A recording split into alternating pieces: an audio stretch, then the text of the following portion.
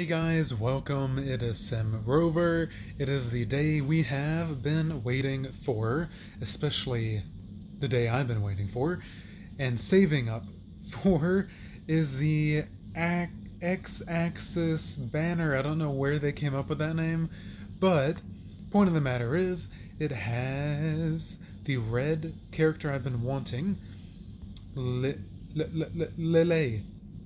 Yeah, we're gonna go for Lille and he is a S according to the official tier list of player versus everyone.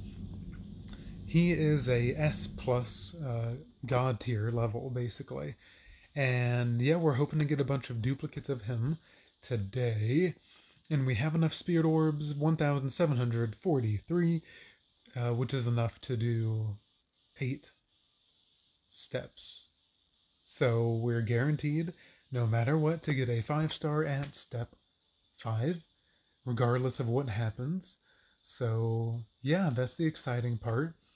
And um, also, yesterday was National Coming Out Day. So uh, happy National Coming Out Day yesterday to anybody who it applies to.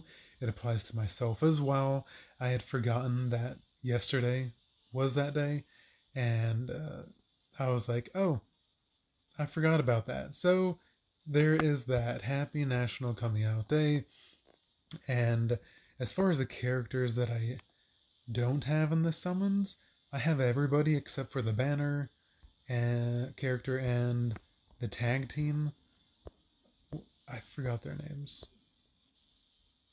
Kione and Centauro. So I don't have them. Um, they're supposed to be pretty decent. Uh, he, not Muramasa, gosh darn it, it's Koga, isn't it? Koga, yeah. Koga is actually, for the orange attribute, he is a S plus God tier for player versus everyone for orange, um, given his killer ability. So, uh, yeah, he, he would be great to get dupes of as well. If we get enough dupes of him, eventually I'd make him replace Ichigo because uh, he's better than him, or maybe not. I I don't. I'll just have to sit on it. We'll just have to see how the summons goes. And I have that Tsukishima on the far right, and I have, of course, as y'all know, that Toshiro, the purple one. I have that Toshiro Max Transcended. So if we get Toshiro or uh, Tsukishima, we will be selling them for character points to use to re-roll the extra stat boost for orange uh, character links. So yeah, there is that. We don't have any tickets to use, so we're just going to be doing summoning. Um, I do have 10 Brave Soul accessory tickets to use right here. Um, so we will do that kind of midway through, I feel. Um, yeah. So, without further ado, let's go ahead and do uh, step one. Make sure we're on the right banner. Yes, we are. Okay. All right. Step one. The thing we've been waiting for. And a four star. Uh, so, off screen, I did some Brave Soul summons tickets. And my luck has not been that great on them at all. So, yeah, um, we'll just have to see. All right, step two 200 spirit orbs. Wah wah. All right, so we've made it to step two. Both of them, wah wahs. They are duds. And uh, wow, that's so quick. Wow.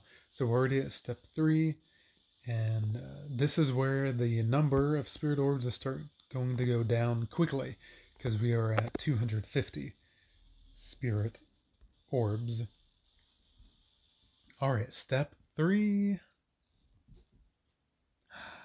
Yay! Finally, first five star on step three. Joshir Toshiro, not Jushiro, Toshiro. which I have him, and we're gonna sell him, like I said.